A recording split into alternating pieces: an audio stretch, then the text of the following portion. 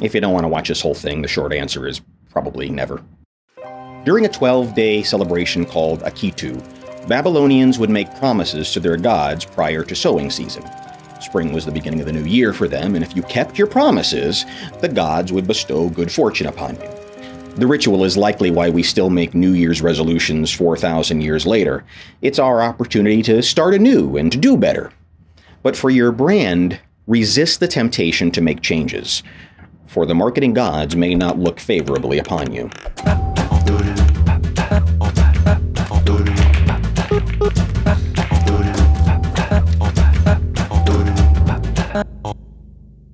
If you've ever hired more than one marketer for your company, it's likely that marketer number two came in and told you to change all the stuff that marketer number one did. Your logo's too old, the website is wrong, your advertising is here, and you should be advertising there. Sleeves get rolled up, and we excitedly begin to break things that aren't broken. Changing your brand, or even elements of the brand, should be approached with all the apprehension of a bomb squad. Your brand only exists in the mind of the customer. The fact that you're in your customer's mind at all is a miracle. Let me put it another way. Most brands aren't in our minds. Most people don't know most businesses. When should you change and when should you absolutely not change? Well, let's get the easy ones out of the way. You should change things when your name is a liability, like Theranos, Enron, Bernard Madoff Investment Securities, or the Ayds Diet Plan. Ayds may taste like a candy, but Ayds contains one of the most effective appetite suppressants you can buy. And there's no stimulant in Ayds that could make you nervous. With Ayds, I ate less, so the weight came off. Oh, jeez. Your product or service is outdated.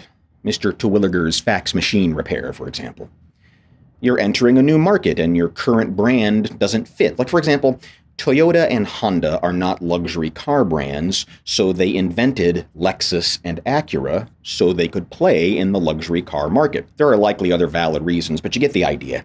If there is a major tectonic shift in your business or your product or your marketplace, then you might want to consider a change.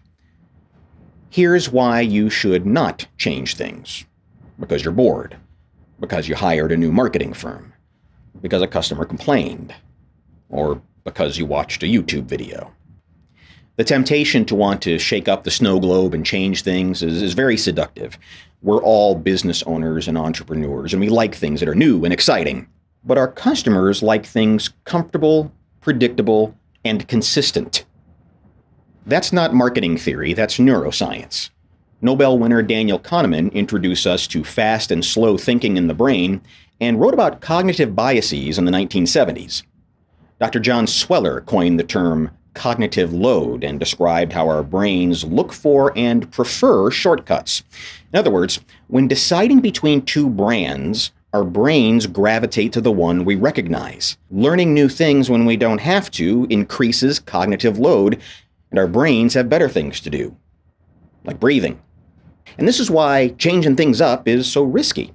Memories are built by repetition.